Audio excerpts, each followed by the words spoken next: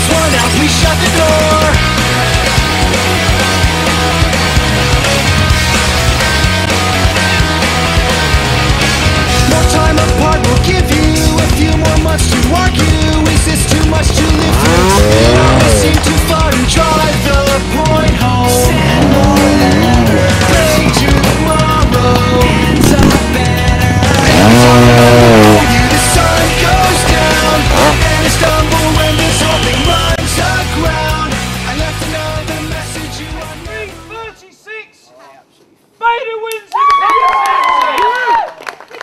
championship. As far as challenge is concerned, it was a fair challenge.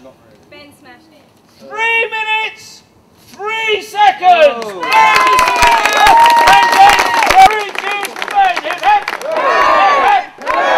Hip. So Ben, how will this help you prepare for the World Championships next year?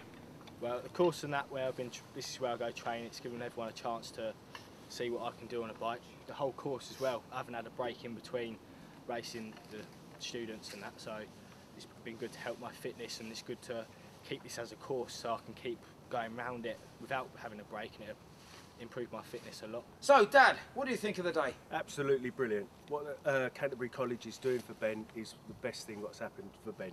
There you have it. Beat the Bike 2011. Next year, we're going to have teams from the Army, teams from the Cadets, teams from the Public Services, and Ben, Sports Science. Where's your team? We're out to get you.